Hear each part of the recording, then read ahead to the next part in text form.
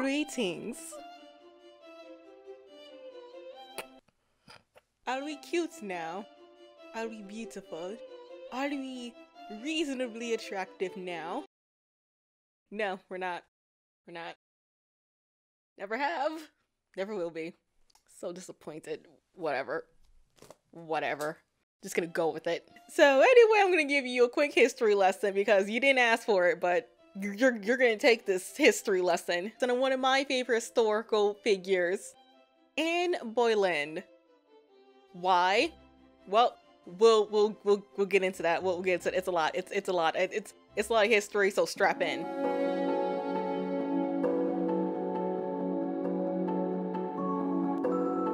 Anne Boleyn was born approximately around 1501 to 1507. Her birthday is unknown. Her father was an ambitious politician and diplomat named Thomas Boleyn, and her mother was Lady Elizabeth, a wealthy English noblewoman from a prestigious aristocratic family named the Howards. Anne in her childhood grew up in Hever Castle with her older sister Mary and her brother George.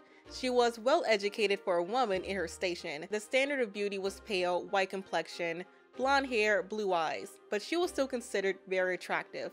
Even compared to a Venus, she was described to have long, dark brown or black hair, black, beautiful eyes or darker complexion, a long neck, wide mouth, and a petite figure. Before she was even a teenager, her father got her a position in the court of Margaret of Austria, daughter of Maximilian I, Holy Roman Emperor, which was rare because usually a girl from a noble family had to be at least 12 to be in court. But Anne made a great impression and Margaret absolutely adored Anne, a good setup at how charming and smart Anne was. After a year, Anne and her sister Mary moved to France and Anne became maid of honor to Queen Mary Henry VIII sister who married Louis 1468. Bruh, there was like a lot of Louis of France. Anne stayed in France for seven years in Queen Claude's court, where she embraced French culture. She learned how to be flirtatious and sharpened her famous wit. She developed an interest in fashion, arts, and literature, humanism, and religious reform. Put a pin in that. Uh, this is what the writers call foreshadowing. She was popping in France and had a good old time, but her time in France ended when she was called back to England to marry some irrelevant dude we don't give a shit about but the engagement was tossed out. However, Mary, her sister, was called back to England to marry a nobleman with King Henry VIII in attendance at her wedding. And Anne's sister, Mary, and King Henry began an affair. Mary might have had two children with Henry, but it's still debatable. We don't know for sure. But if you ask my opinion, I think probably not because King Henry had an illegitimate son with another woman, and he had no problem letting the world know that he is a cheating and the illegitimate child was proof that the reason he did not have a legitimate son was the fault of his first wife, Catherine of Aragon, and not him. Because who cares about science and who cares about women too? So having more illegitimate children in his inventory would look good for him in his circumstance, for what he will later do in the future, but that was a tangent. Moving on, along with Anne. Anne participated in a pageant in honor of visiting ambassadors in 1522, playing the role of Perseverance. It was then that she showed the English court that she was indeed 100% that bitch and gained many admirers, including King Henry VIII, the entitled sleazeball. Now we're entering in full force annulment phase. So after 20 years of marriage to a bad who also deserved better, Catherine of Aragon, daughter of Queen Isabella and King Ferdinand of Spain. Yeah, this couple. The same couple that funded Christopher Columbus' scummy line pathetic ruined everything Columbus to get some spices or some whatever, we don't care. He's trash. At the beginning of the marriage between Henry and Catherine was pretty good, even though Henry is a cheating and they accomplished a lot together. Catherine of Aragon in her prime was beautiful. She was the daughter of the greatest monarchs in history and a highly intelligent, brave woman. But even though they were considered a power couple, Catherine had a hard time producing heirs. She had multiple miscarriages and sudden infant deaths, her only surviving child was Mary I, who was going to be forever known as Bloody Mary. Henry got desperate because, understandably, he was under a lot of pressure. The Tudor dynasty was still unstable when he became king. His family was the family that ended the War of the Roses with his father Henry VII winning the battle against Richard III. And as a man during this time, legacy was the most important thing. So, this expectation to keep the family name going was the reason why he wanted to divorce Catherine of Aragon. But the problem was that England at that time was heavily Catholic, and the Pope was more powerful than kings. In order to receive an divorce under Catholicism, you had to get approval from the Pope. Henry requested a divorce from Catherine on grounds that the marriage was invalid. All of a sudden, after 20 years of him having nothing but audacity, claimed that the marriage was incestuous and against the Bible. Before Catherine married Henry, she was married to his older brother Arthur. But the marriage lasted a couple of months. Then Arthur died from sickness. There was no proof of consummation between the two, so the marriage was considered invalid. But in the grand scheme of things,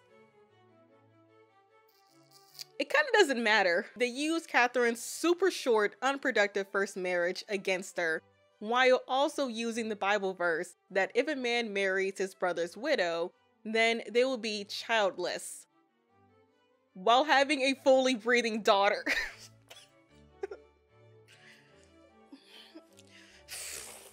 but the Pope was like, get the out of here. No. Also, Protestantism was on the rise because of Martin Luther. At first, Henry wasn't feeling Protestantism at all, but influences like his advisor Thomas Cromwell and Anne Boleyn herself, who was a Protestant, persuaded him to switch sides. And after several years of trying to get a divorce from the Pope, Henry was like, well, you know, all this shit. I'm Protestant now. that means I don't have to answer to the Pope to do what I want to do, which is around. He separates the entire country from the Catholic Church and becomes head of the Church of England. To rub salt on a wound, he banishes Catherine and separates her from her daughter Mary. Trash. The guy is just. the guy is trash. He deserves to be in a dumpster. The dumpster. Catherine of Aragon dies lonely and heartbroken. Shortly after Anne and Henry get married, and ironically gave birth to the greatest monarchs in English history, Elizabeth I.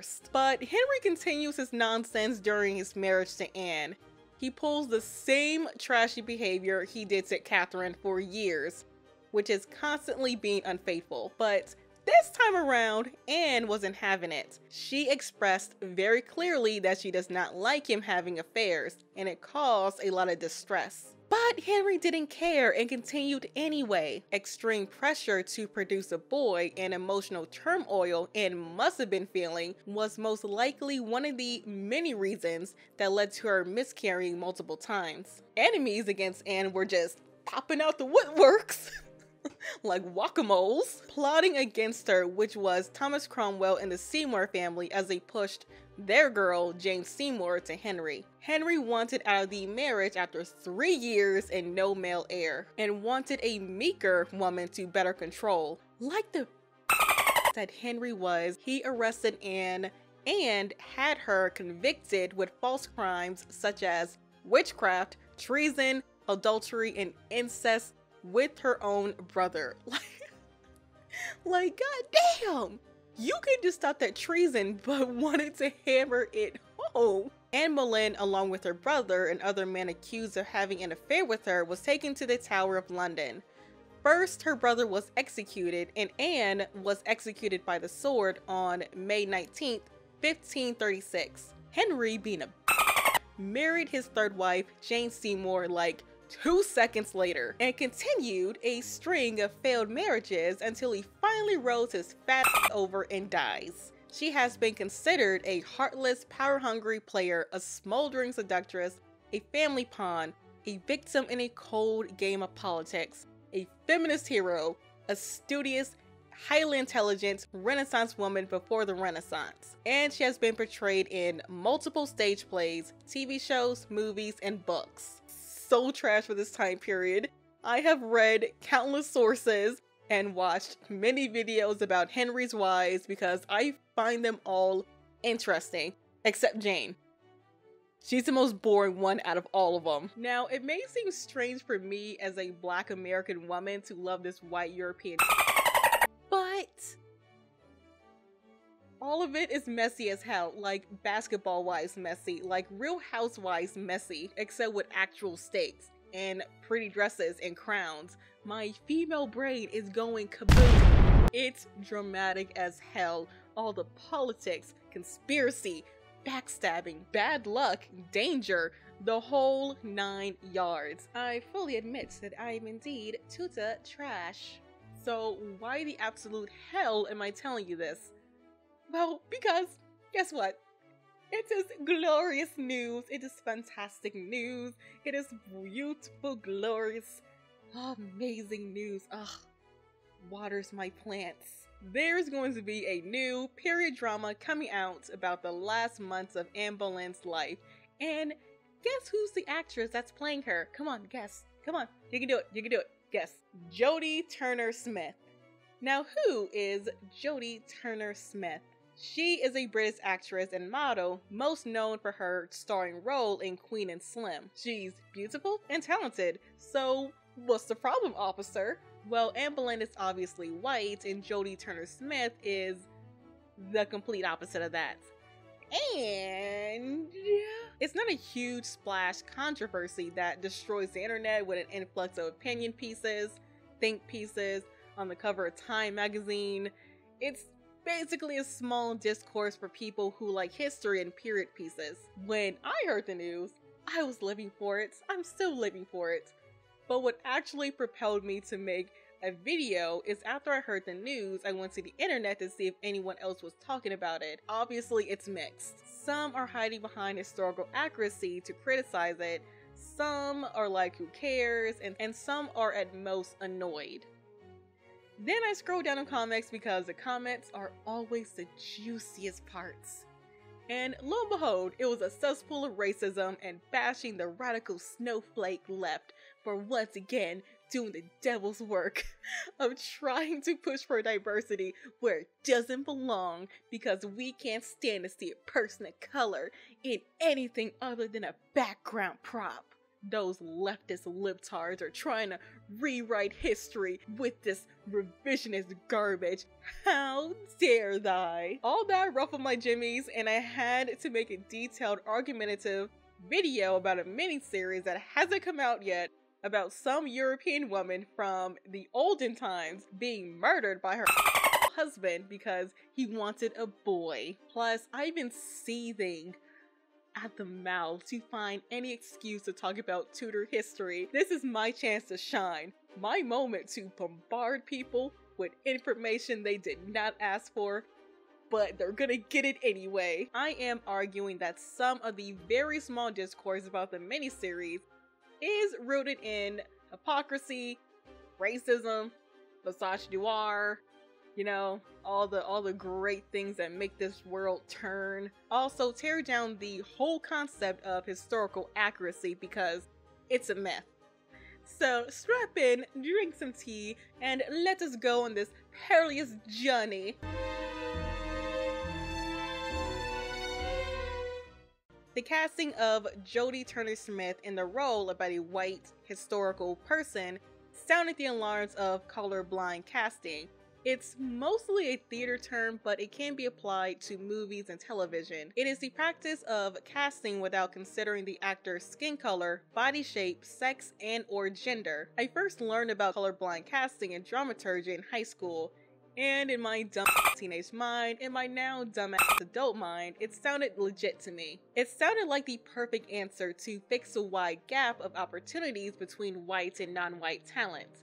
You're not screwed out of a job because you're black or Hispanic, Asian, heavyset, have a disability, or not the ideal of beauty. The only thing that would matter is talent. It sounds good on paper, but in practice, well, once again, all of the isms and phobics rear their ugly head. Reading up on colorblind casting, I came across the article by Omari Newton titled colorblind casting is an absurd and insidious form of racism. The author articulated his grievances when watching a Broadway production of Arthur Miller's All My Son. He found the casting of characters who are brother and sister as different races distracting and took him out of the production. He found changing other side characters who are canonically white to a mixed race family a not so great choice because the play takes place in the 1940s, a time of segregation and interracial relationships, if made public, can lead to murder, constant harassment, arrest, or all of the above and so much worse. And Newton found the change as an insult because it erases and ignores the history of black people in America. Colorblind casting has turned into another very subtle form of racism and erasure. It's the equivalent of a white person saying, I don't see color, which is code for they are a closeted racist or too lazy or apathetic to acknowledge their privilege and neglect to see the systematic oppression against marginalized groups. It doesn't address and fix racial disparity, it simply puts a wimpy band-aid on top and clap their hands and yell, Done! We solved the racism. Give us a cookie. And over the years, colorblind casting has evolved as another shield to hide white people, once again taking opportunities away from minority groups and the practice of whitewashing. Like, for example, the live action version of Ghost in the Shell, Tilda Swinton in Doctor Strange, the entire cast of Exodus Gods and Monsters, the live action adaptation of Avatar The Last Airbender. I will never forgive them for that one. Death Note, live action Dragon Ball, and also many other examples. Hollywood loves to use the guise of colorblind casting when it comes to assigning roles that were meant for a person of color. Somewhere down the line, the logic conveniently ends at well, we thought this white actor was a better choice. Sure it was, Nathaniel. I, am I'm sure it was. And now we're back at square one with the erasure of people of color. So, what's the new solution? To combat colorblind casting, people like Newton and even August Wilson, a highly regarded and famous playwright, subscribe to color conscious casting. Instead of ignoring historic discrimination, you acknowledge it. Also take the person's race, culture, and other circumstance into account. With that said, I do believe the casting is more erasure than actual diversity because it prioritizes a story that centers around white European history instead of investing on a project where marginalized groups tell their own stories. It would have been better to do a period piece about a black person living in pre modern Europe because guess what? There were black people then too. I know. Gasp. What do you mean there were black people in the Middle Ages or the Renaissance in Europe? That is revisionist bullshit orchestrated by Black Lives Matter and libtards. Despite popular belief, there have always been a good amount of black people and people of color in Europe. Like, why wouldn't there be when there was slavery and also trade of other goods like gold, spices, and textiles, etc. There were also a good amount of Africans who were free men traveling and living in Europe. Examples did you know that there was a black musician named John Blanke in the courts of King Henry VIII? And the guy wasn't just there for no reason. He most likely came in attendance with Catherine of Aragon from Spain and just chilled in England. And he was paid to be there. He even asked for a pay raise by King Henry VIII himself and he was like, oh yeah, sure, bet. There was also Benedict More, an African Italian friar from the 16th century, who became a saint because of his long list of good deeds. In the King Arthur legend, there was a black knight named Sir Morien. There was also the biracial Prince of Florence, Alessandro de Medici, whose mother was of African descent. Jean Baptiste Belley was an accomplished military captain during the French Revolution and became member of the National Convention and Council of 500 in France. Also, there is plenty of art depicting black people in pre-modern Europe. Wow!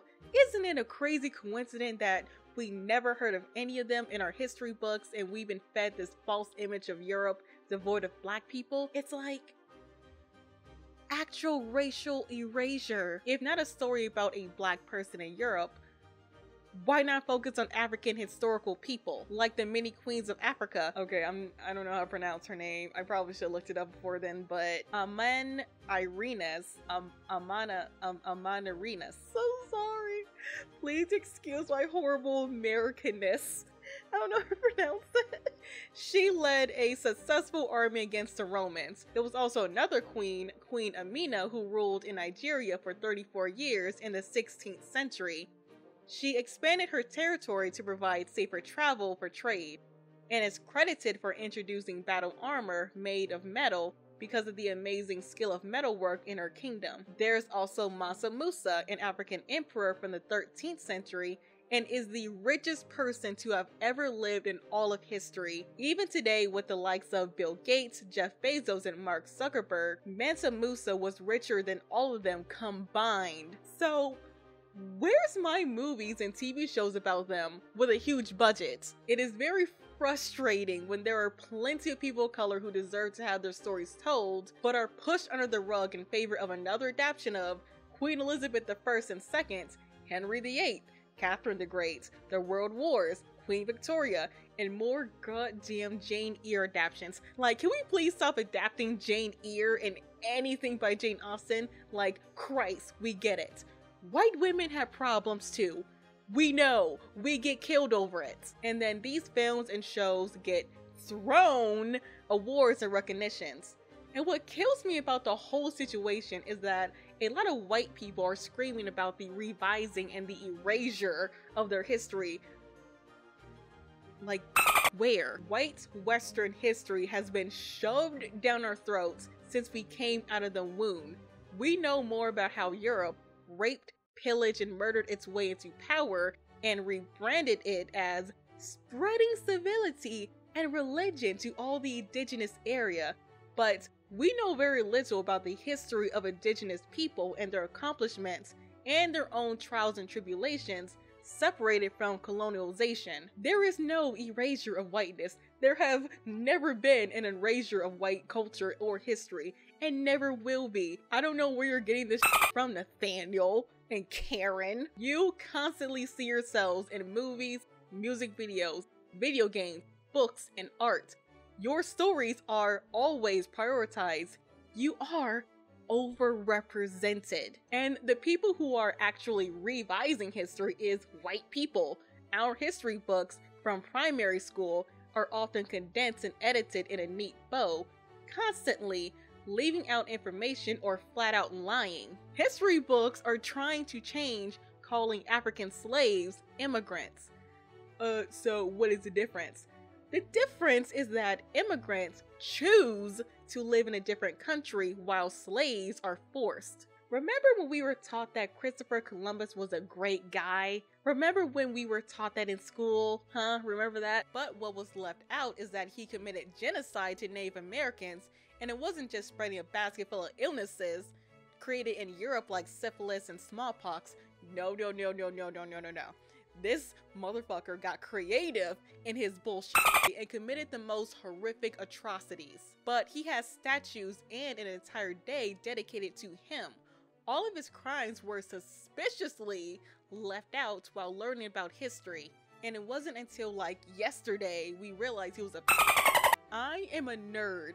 I like finding these things out, but most people are not historians or simply not intellectually curious they soak in whatever their teachers say and move on without a second thought. Also, with Western European history we were taught in school, it is a great time to talk about historical accuracy, the top argument used against the casting of Jodie Turner Smith. Period pieces should not be the only form of learning about history because its first job is to entertain. If people are only learning about history through shows like The Tudors, The Favorite, and other period pieces done by Mel Gibson, then it is the fault of the education system and the fault of the individual. The genre is not proper research, sources on history, any historian under the sun can tell you that. If you go into a serious discussion about a historical subject and you have not done proper research, like read books or articles, then please sit down and drink some tea.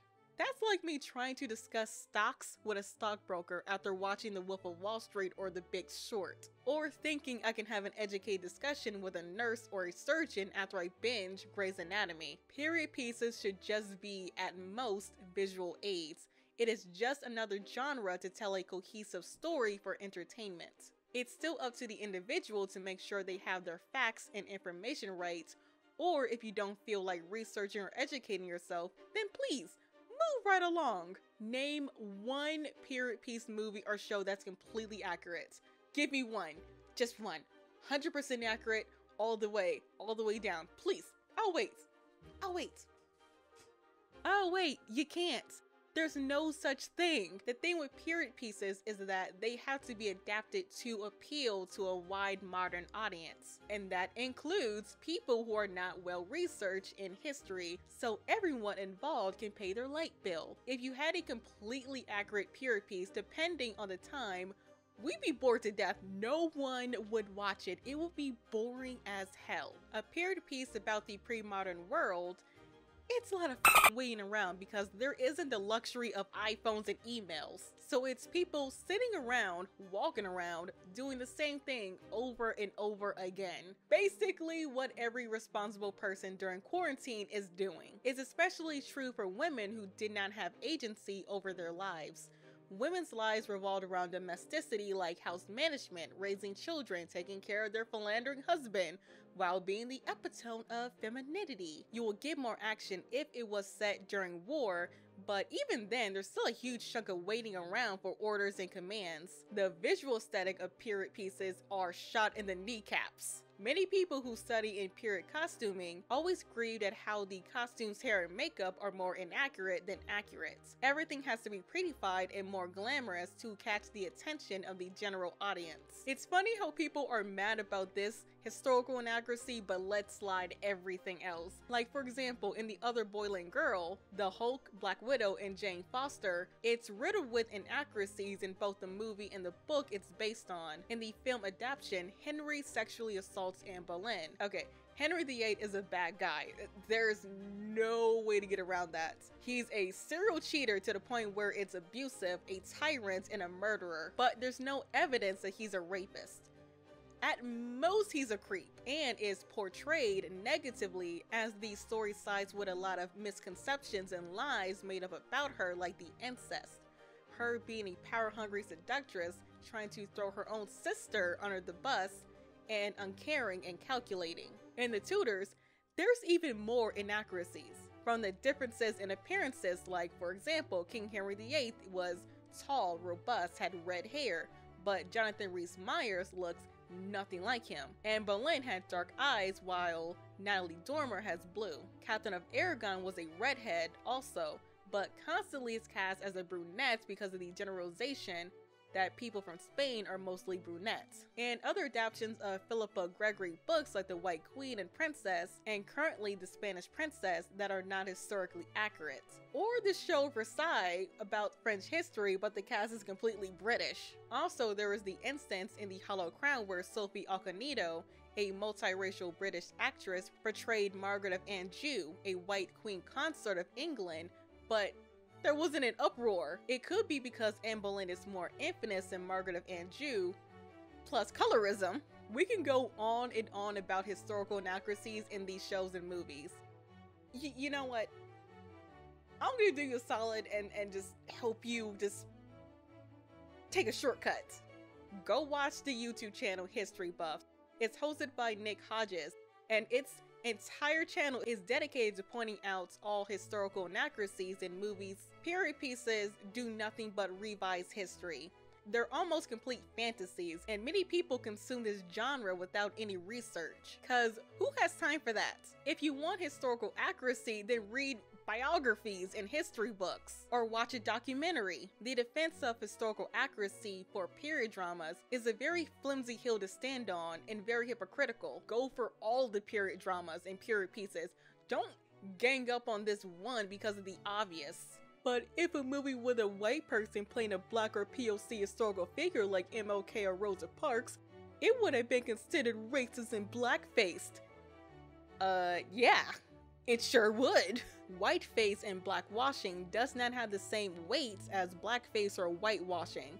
Whiteface and blackwashing doesn't show up as often because of who owns the media, and there's no loaded violent history behind it. And it's not even that insulting to white people. Like, look at white chicks. The stereotype towards white people is that they are rich, privileged, and high value. At worst, they are arrogant, spoiled, and whiny. Mind you, this is coming from black creators. Even when Dave Chappelle did Whiteface, he still portrayed white people as proper and decent. Blackface, it was derogatory, harmful, and malicious and it negatively affects black people to this day. But how is a black person being cast in a role that's historically white and canonically white, not racist and reverse racism or whatever? Racist? I don't think so. Racism is not just thoughts of superiority, it's also actions. In order for a specific group to be racist, they have to be in a position of power to actively and effectively do actions for the purpose of systematically harming and disempowering another group. But black people do not have the power to systematically and disempower or impress another race. So for this particular instance, how is a black woman disempowering anyone? She's not. She simply cannot. An opportunity like this for a black woman is rare, but for a white woman, it's simply a checklist in their repertoire. Many white actresses have done at least one pre-modern role with a variety from being a queen, lady in waiting, a princess, maid, stage actresses, many characters who have agency. While black actresses, when they do show up in pre-modern period piece, it's usually about slavery or oppression. So far, the best we got that's not absolutely depressing is Belle, directed by Amma Asante, and Daughters of the Dust by Julie Dash. There is a small, small, minuscule fraction of period pieces with black people that's not about racism and oppression. Most stories revolving around white people don't worry about intersectionality of race. There usually isn't an acknowledgement of it. They simply get to exist. Black people don't have the courtesy. Black stories that are mainstream usually revolve around race from slavery to civil rights. Don't get me wrong, these types of movies are important since, for some reason, the obvious messages of them are not sticking to some people. like, can we please just take a break from it? Like, can we please get more stories revolving around black people that are not depressing and show us constantly in pain and poverty?